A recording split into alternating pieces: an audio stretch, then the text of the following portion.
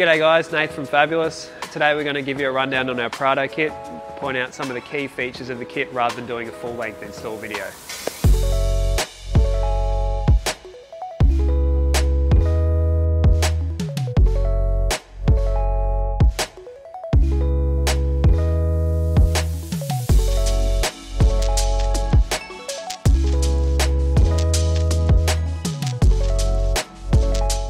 So one thing we've found is that the factory Toyota guard clips are near on impossible to remove. So with our kit, it comes supplied with a full brand new set. Just use a pair of side cutters, wedge it up underneath it and cut them out.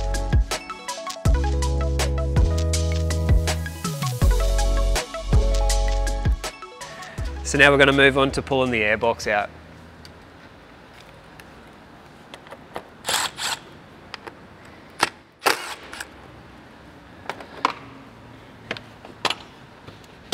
Once you get the lid off, you'll find that there are two bolts on the inside of the airbox that actually hold it down.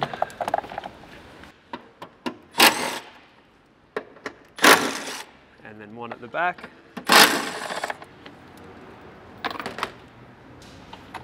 Put that aside. So now that you've got the airbox out, you know what time it is.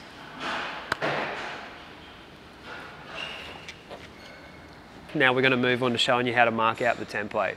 So each of our templates comes with a front and a back reference point where you mark two X's on the guard to make sure that it lines up perfectly.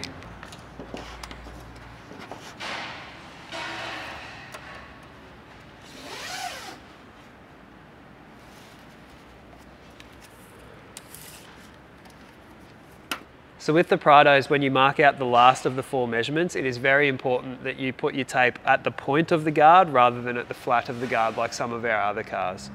So with the point, pull down your back measurement and you'll be in the right spot. The other thing that we find super helpful when you're installing your own snorkel is to use some small magnets just to hold the template on the guard. That way you're not trying to hold it and mark around at the same time, the magnets do the job for you. So line the front point up, line your back point up, double check it all looks good, and then you write to mark around it.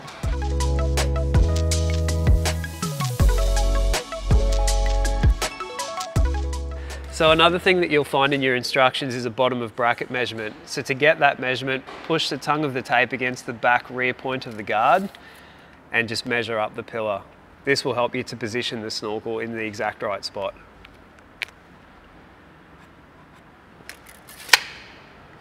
So now we're going to cut the hole in the guard. Because we use the air hacksaw, we put a small hole on the inside of the template first, just that way we can put the saw in and get cutting.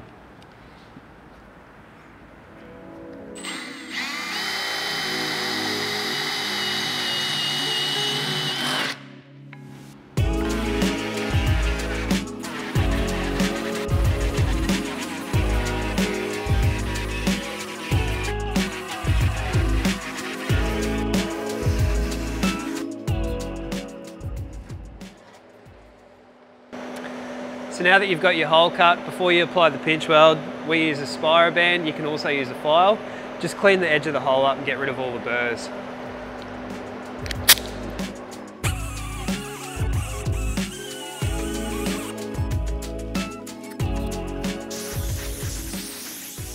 Now that you've cut and deburred your hole, it's time to put the pinch weld on so that way we can test fit the snorkel.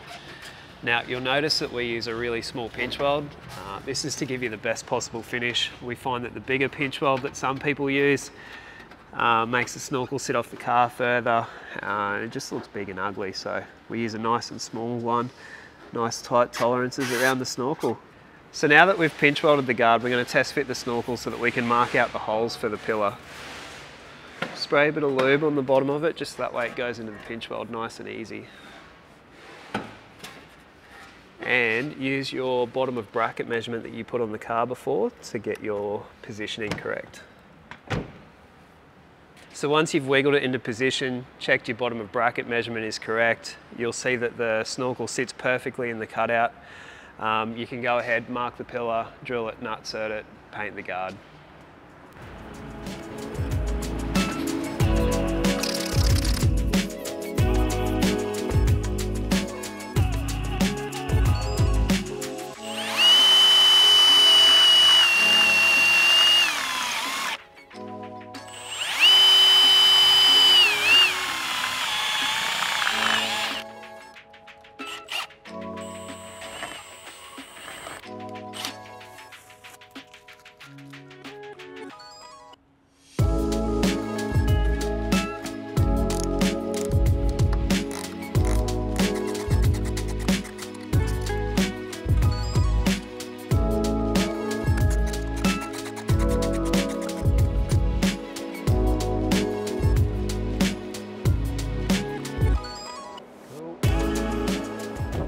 So to make sure our kit seals as good as it possibly can, we remove this snout off the airbox and file down some small tabs, allowing the silicon to seal tightly on the factory airbox itself.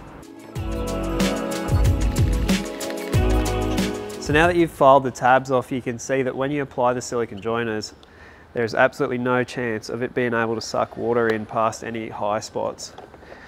Making sure that way the snorkel kit that we supply you is a fully sealed system all the way down to the airbox. So with this being a pre-facelift Prado, we have to do something a little bit different with the silicon joiners as compared to the later model ones. So you'll see that there is a small joiner section here. This section will poke through the inner guard and that way you'll put the silicon joiner on the outside as normal. Now, even though there is a joiner in it, you don't have to ever worry about it leaking because we use Würth worm drive hose clamps instead of the traditional hose clamps. These things, once they're tight, they'll never come loose, they'll never rattle off, and you don't have to worry about stripping them because the worm drive in them is so much stronger than a traditional hose clamp.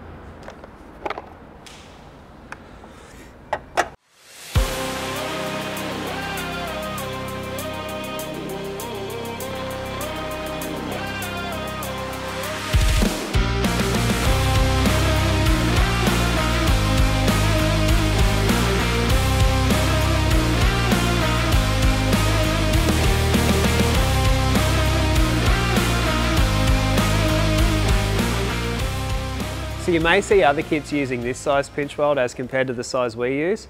Now the reason for using big pinch weld is to fill a big gap. However, because our kits come with years of research, development and experience, our templates are spot on, so that way we can get away with using the smallest pinch weld possible and you can be sure that there will be no gaps between your snorkel and the pinch weld itself. And as you can see, now that we've applied this pinch weld to the car, it looks shit. So we're gonna go ahead, pull this off, put ours on, it's much smaller, it's much neater, it gives it a much more factory look. And again, the reason why we can get away with using smaller pinch weld is because all of our templates and all of our instructions are spot on.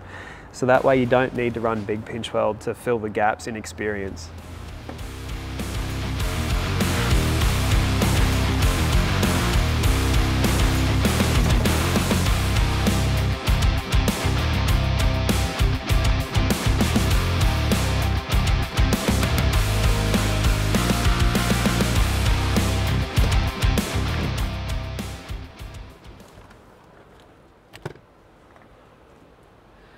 So another key feature to this kit is the fully welded on integrated bracket that's one piece part of the snorkel. There are other kits that have a two piece bracket which bolts to the snorkel and uses tek screws into the pillar. We've seen over time that the tek screws can come loose. And let's be real, imagine your snorkel falling off while you're on an inland track at Fraser with your missus and kids in the car. So now that you've put the snorkel in the guard, the bracket's done up, the airbox is in, pretty much the last thing left to do is just put on a couple more hose clamps underneath, refit the inner guard using the brand new clips that we've supplied you, clean everything down, and you'll be good to go.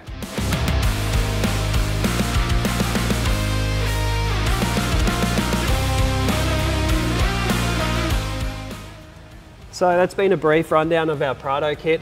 If you've liked it and you're interested in watching any of our other kits in more detail, just head over to our channel and we've got a full rundown on instructions, R&D and all of the development that goes into our kits.